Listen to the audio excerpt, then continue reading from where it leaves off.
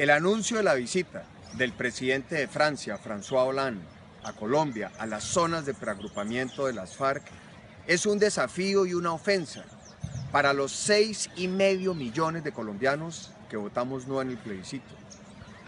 Es una ofensa a valores democráticos. Las FARC siguen siendo un grupo armado, no se han desmovilizado, no han entregado las armas, no se han cumplido los procesos, según lo que habían acordado con el gobierno. ¿Por qué no visita a las víctimas de las FARC? Las FARC siguen siendo y nos dejan el legado del gran país productor de cocaína nuevamente. Rompimos récords históricos.